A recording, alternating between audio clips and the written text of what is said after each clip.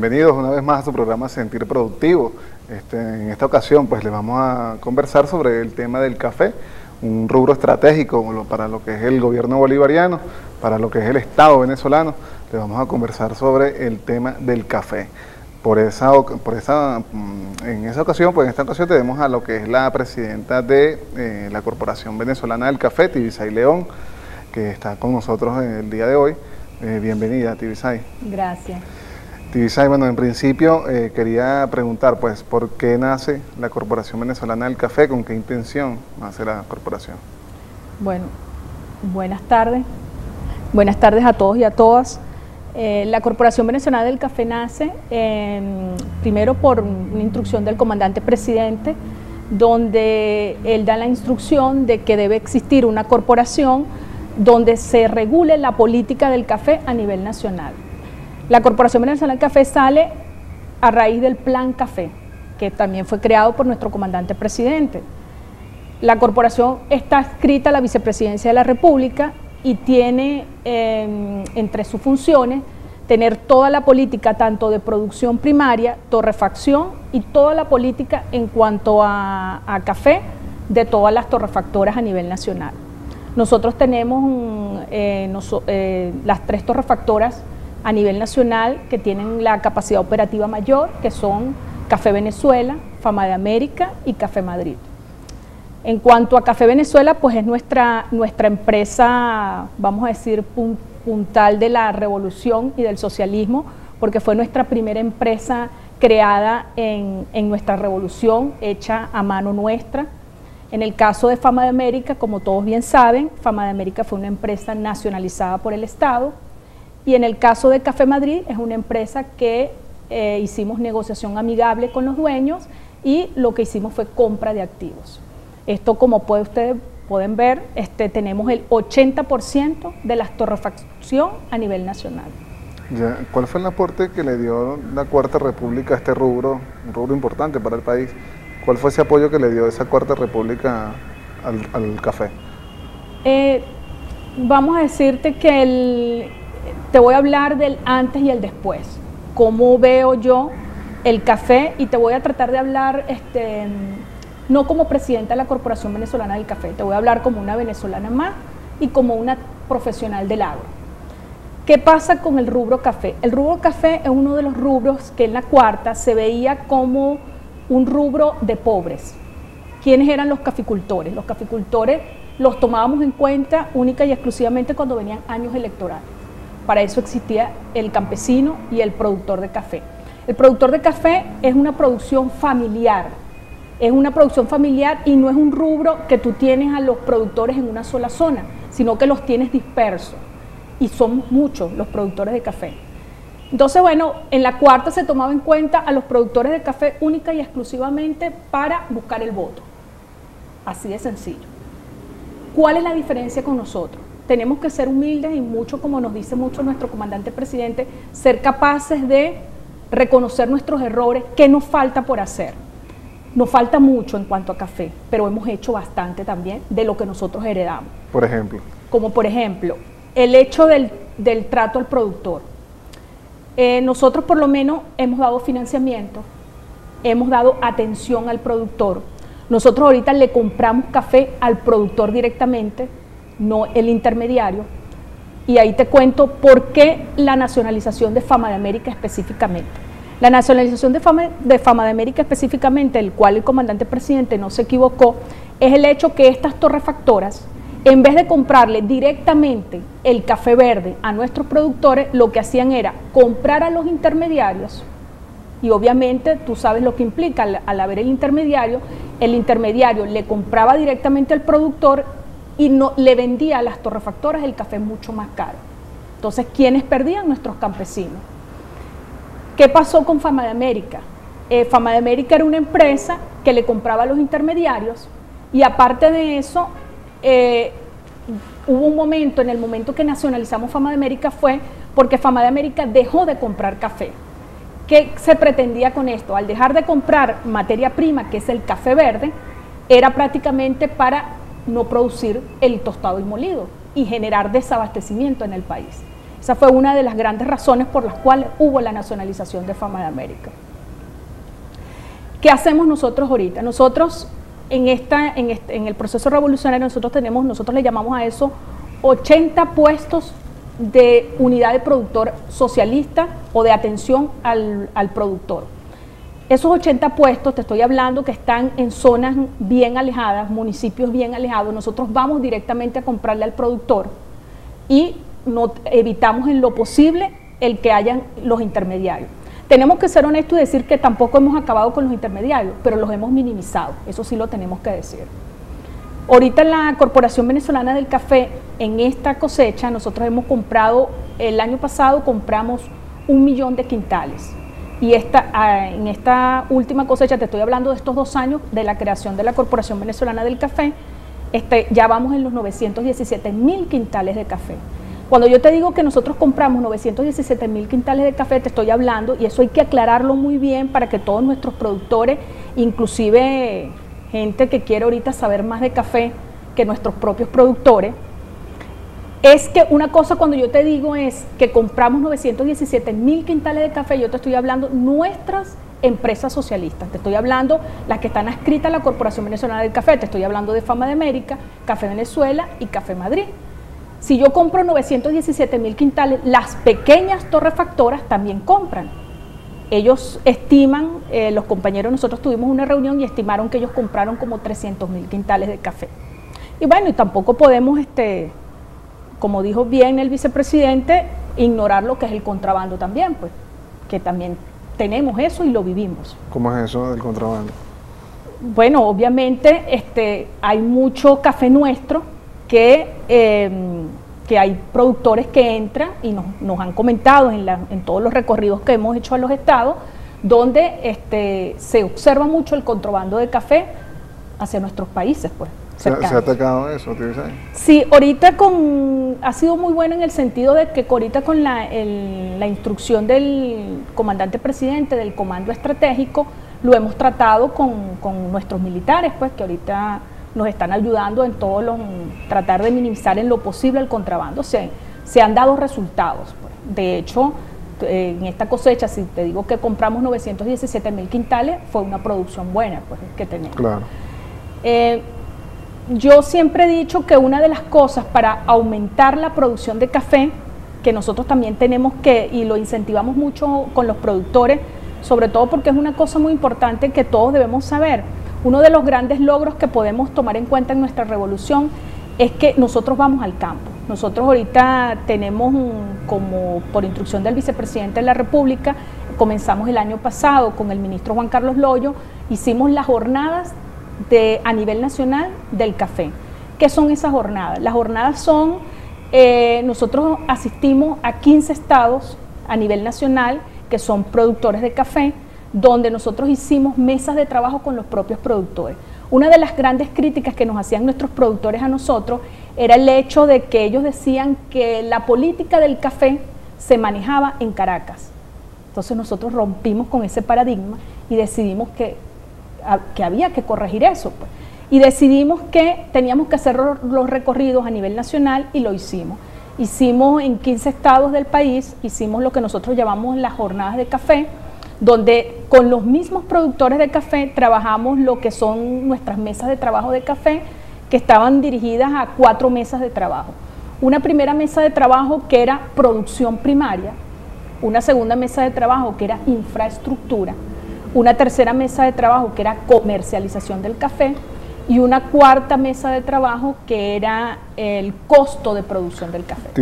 Eh, fíjate, eso es organización popular Vamos al primer corte. Quería que me comentaras un poco sobre eso, cuáles fueron esos resultados que dieron esas mesas y ondas pues un poquito sobre ese, esa interacción pues que hubo entre el, o que hay entre el productor y el gobierno bolivariano. ¿sí? Ya regresamos.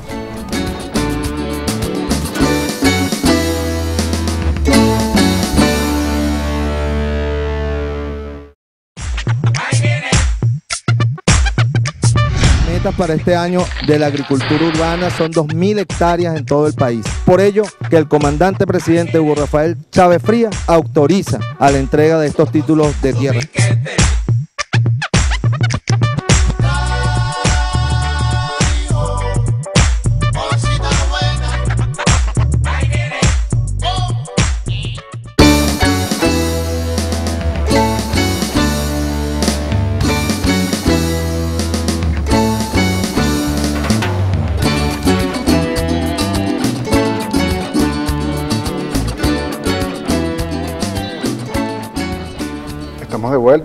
Programa Sentir Productivo.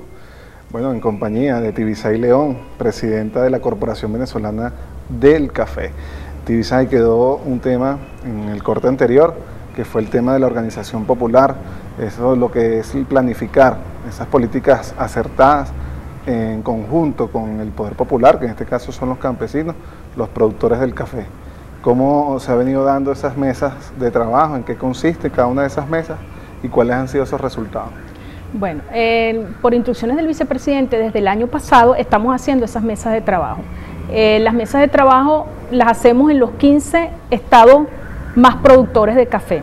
No estamos haciendo diferencias de, solamente dedicarnos a los mayores estados, sino hasta en el estado que menos café tenga, pero nos dicen que hay café, en esos estados nosotros hacemos nuestra mesa de trabajo. Eh, esas mesas de trabajo consisten en, en llamar a la mayor cantidad de productores de café, porque nosotros queremos hacer la política con los productores. Y lo que siempre nos ha pedido nuestro comandante presidente, que es el hecho de que en vez de que nuestros productores vengan a Caracas, en vez de que nuestros productores vengan a buscar información acá, seamos nosotros los que vayamos al campo, busquemos la información y sobre todo una cosa muy importante es que la política del café salga de los productores de café, no que salga del Ministerio de Agricultura y Tierra. ¿Se ha, dado, eh, se ha cumplido ese objetivo? Se ha cumplido ese objetivo y perfectamente pueden, podemos palparlo en todos los estados. Ahorita acabamos de, terminar nuestras mesas de trabajo que consisten, como te venía diciendo, son cuatro mesas de trabajo. Una primera mesa de trabajo que es la producción primaria del café, que para nuestro criterio es la más importante. Nosotros no hacemos nada con pensar en aumentar hectáreas de siembra de café, no hacemos nada con decir que vamos a aumentar el costo del precio del café, si nosotros no entendemos que lo que nosotros tenemos que aumentar es la producción del café. ¿Cómo hacemos eso? Y te lo estoy diciendo con bastante propiedad porque no te lo digo yo como, como presidenta de la corporación, es lo que nos dicen nuestros productores en todos los estados que hemos visitado. ¿Qué dicen ellos? Hay tres puntos que son básicos para nuestros productores, que son las buenas prácticas agronómicas, que son eh, el financiamiento a tiempo, las podas a tiempo y sobre todo tener la capacidad de que nuestro financiamiento, que es lo que nosotros le llamamos recolección de cosecha, tengan ellos el recurso a tiempo para hacer esa recolección. Hemos mejorado en eso, el financiamiento ha llegado, el gobierno revolucionario ha cumplido. Nos falta todavía mucho, porque tú puedes, no podemos decir que a todos los productores del café le ha llegado el financiamiento a tiempo. Una de las cosas que nuestro comandante presidente siempre nos ha enseñado y que debemos partir de eso es el hecho de reconocer en dónde están nuestros errores y reimpulsarnos. Y eso es lo que hemos venido haciendo con todas esas mesas de trabajo. Esas mesas nos han llenado mucho a nosotros porque aceptamos la crítica del productor de café en plenas mesas de trabajo. Vemos qué podemos enmendar y reconocemos en donde tengamos que reconocer que nos hemos equivocado. En la parte de producción primaria, cuando nuestros productores nos dicen que no hacemos nada con aumentar es, si tú en una producción de café haces todo lo que tienes que hacer para que la cosecha esté bien, ellos no necesitarían en aumentar hectáreas, sino rendimiento. Cuando yo te hablo de rendimiento es rendimiento en quintales. Tú puedes tener una hectárea de café, pero si tú haces tu poda a tiempo, si tienes tu insumo a tiempo, quiere decir que tú ese café le vas a sacar mayor rendimiento.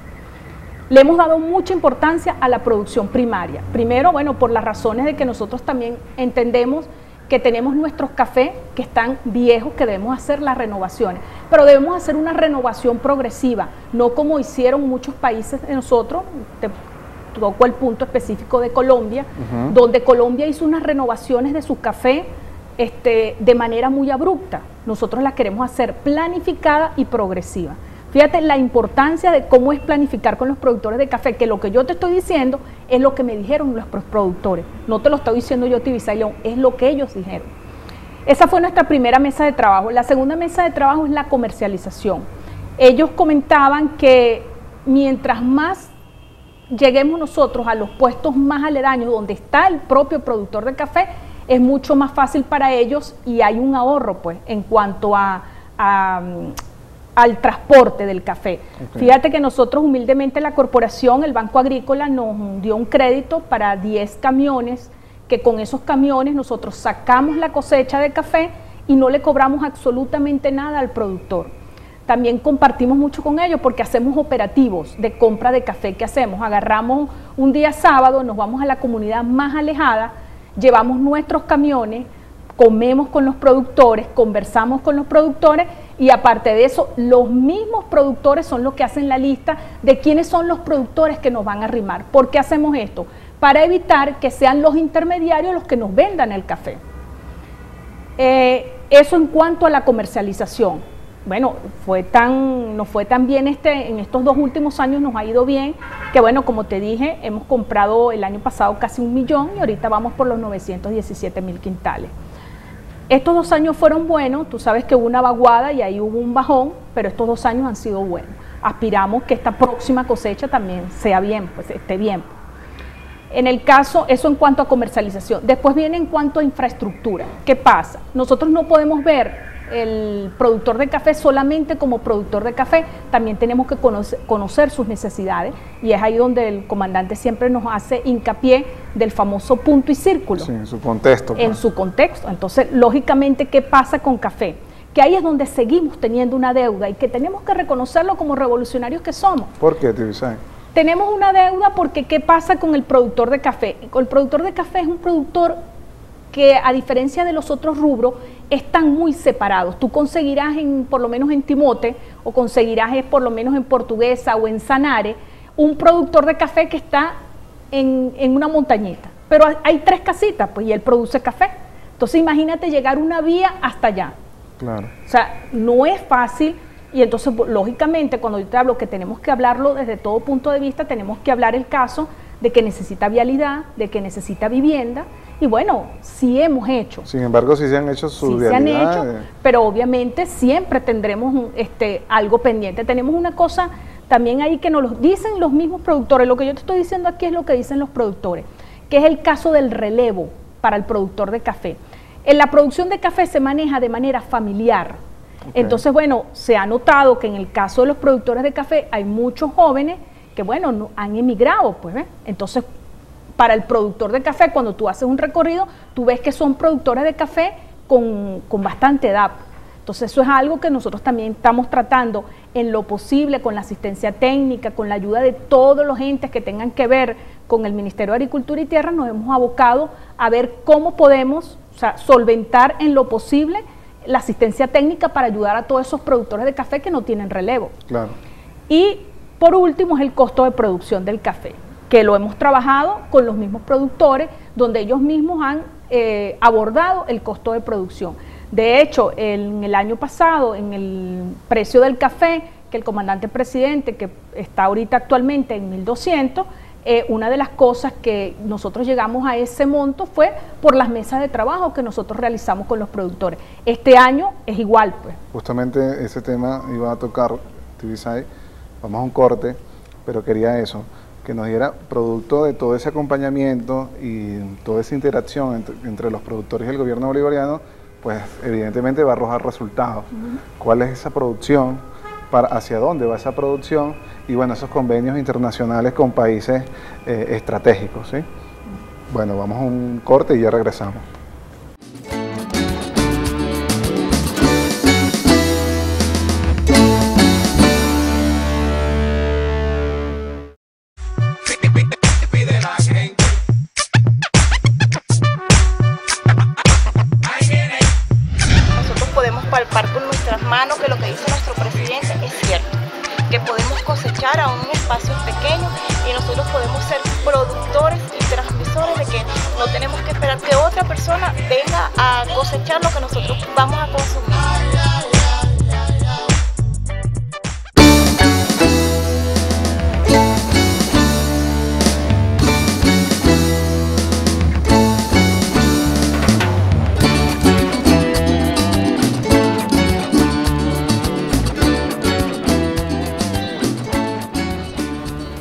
Seguimos en compañía de Tibisay León, presidenta de la Corporación Venezolana del Café.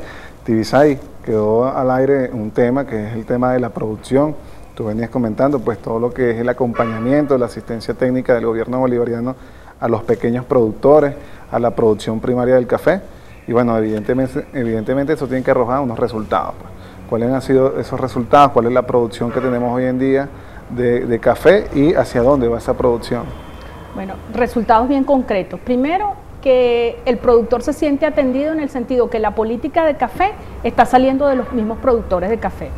Como primer punto, todo lo que tenga que ver con el precio del café, este, nosotros trabajamos la mesa de trabajo y el precio que salga es el discutido en las mesas de trabajo en cada uno de los productores. Los hechos de las fechas, de que el financiamiento se dé en el momento oportuno, eso es algo que los productores también han salido de las mesas de trabajo. ¿Cuál es el precio del café? El precio del café actualmente está en 1200. Era una cosa que ellos, eh, te lo puedo decir como logro, el precio del café viene por calidad lavado bueno A y natural, que es el que más nosotros compramos. Y los productores eh, nos han pedido que hubiese una diferencia significativa entre el lavado bueno A y el natural. Y eso lo hicimos, lo hicimos con ellos. Eso es un gran logro y lo hicimos en el año pasado y este año también lo hemos mantenido. En el caso de, de los puestos de compra nosotros, o las unidades de atención al productor primario, ellos nos piden que nosotros aperturemos más puestos de compra, que cuando yo te hablo de puestos de compra es donde vamos directamente al productor. Y eso acaba con el intermediario. Eso acaba con el intermediario, eso también lo hemos logrado, esos son logros y que son respuestas que le hemos dado al mismo productor. Los operativos, ellos están muy contentos con los operativos. ¿Qué le llamamos nosotros operativos? Que no necesitamos tener un puesto de compra, sino que vamos un fin de semana, compramos y de una vez sacamos el café. Entonces, aparte de eso, nosotros mismos llevamos los transportes y lo trasladamos a las torrefactoras. En cuanto a producción, bueno, yo te puedo decir que a raíz de que nosotros hemos nacionalizado Fama de América, nosotros hemos, hemos aumentado en un 12% la torrefacción.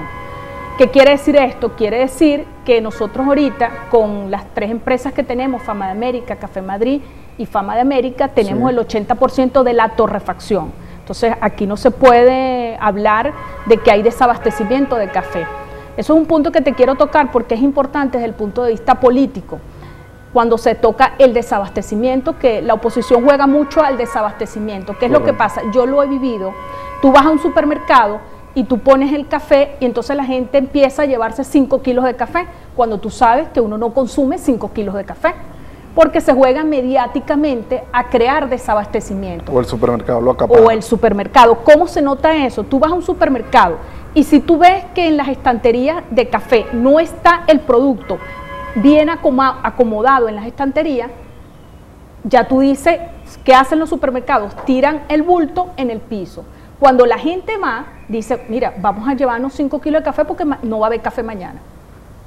Eso pasa y eso es necesario que nosotros lo analicemos porque no puede haber desabastecimiento de café. Primero, que el café no es un producto que tú te consumes un kilo de café en una semana.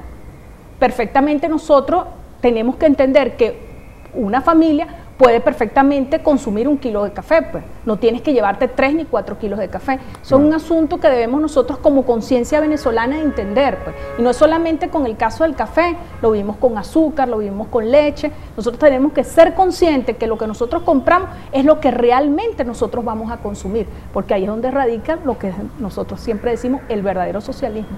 Exactamente. Ahora bien, eh, esa producción en los supermercados, pues eh, está allí presente. Pues. El café no debería, como tú muy bien dices, desabastecimiento. Eh, el venezolano se le garantiza entonces el café y cómo se está trabajando hoy en día el tema de la exportación, ya siendo un país exportador de ese rubro. Bueno, como lo dijo el vicepresidente en su pase que estuvo la semana pasada en la tienda Café Venezuela del Laguito, eh, nosotros somos exportadores de café. Cuando decimos somos exportadores de café, te estoy hablando del tostado y molido.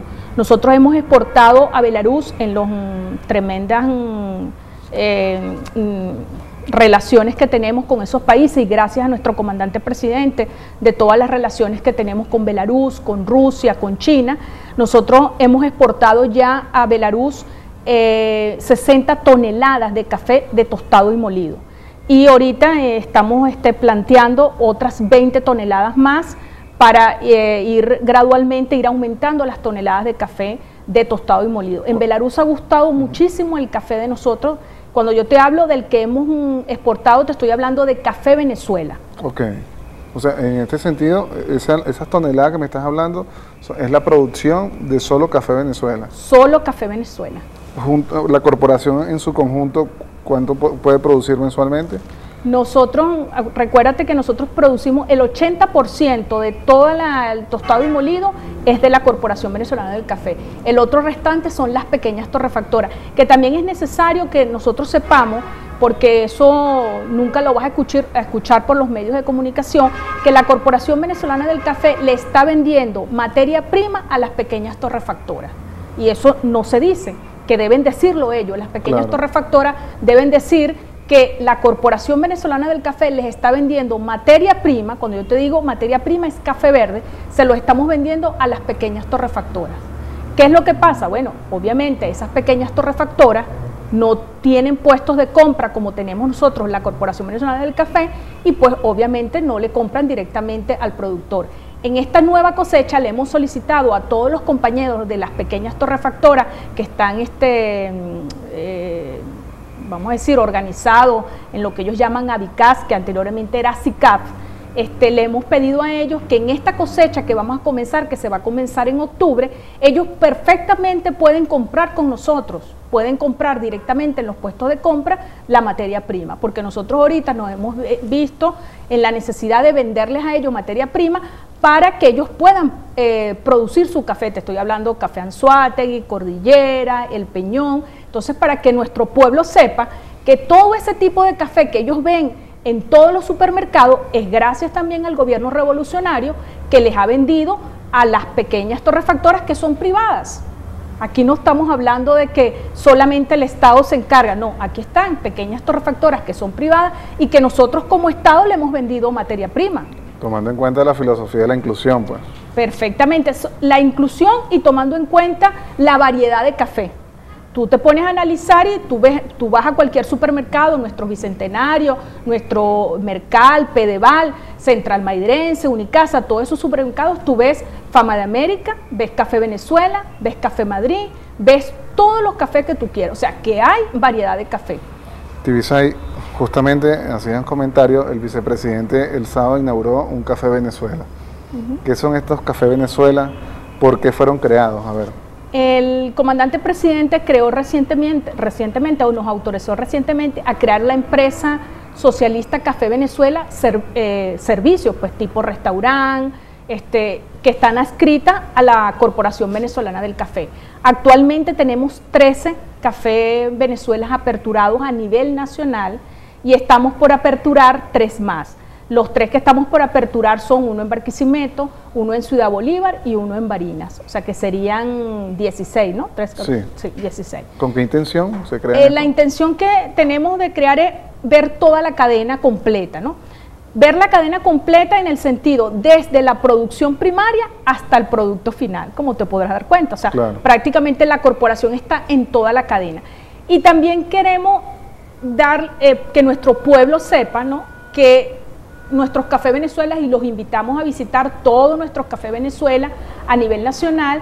No tienen nada que envidiarle a ningún tipo de café, tipo restaurante, lo que ustedes quieran. La atención es buena, el café es excelente y sobre todo la parte humana. Nosotros le decimos a los, a los compañeros trabajadores nuestros de todas las tiendas Café Venezuela que ellos tienen que entender, de hecho, les damos recorridos a las plantas, eso es algo que tú nunca lo habías visto. O sea, antes se dividía la producción primaria, la torrefactora y el Café Venezuela. Ahorita no. todos los trabajadores nuestros de, Café Venezuela visitan nuestras plantas de torrefactora. Que te puedo hablar, por lo menos la Yaguara, visitan la Yaguara, visitan Barquisimeto. Y ellos no es lo mismo que tú vendas un café, que tú solamente haces el café, a vender un café que tú sabes de dónde sale ese café. Entonces, bueno, yo creo que esto es un buen logro de la revolución y de nuestro comandante que es realmente el que siempre nos da nos da este, las, ideas y nosotros perfectamente entendemos la, instrucción política que nos está dando el comandante. Sí, bueno, nuestro equipo de producción nos está diciendo que ya llegamos al final del programa. Quisiera antes de culminar que dieras un mensaje, cuál es la proyección que tiene la corporación de, en cuanto a producción se refiere y cuáles son esas metas pues, para este año 2012.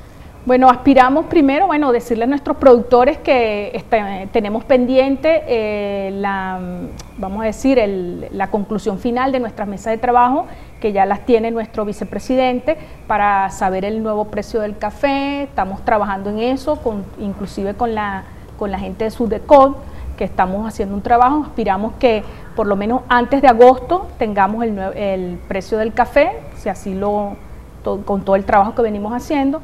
Aumentar la producción de café, estamos aspirando en un 30%, eso como, bueno, asumiendo todas las responsabilidades y los compromisos que adquirimos en las mesas de trabajo, como fue el, el financiamiento y los viveros.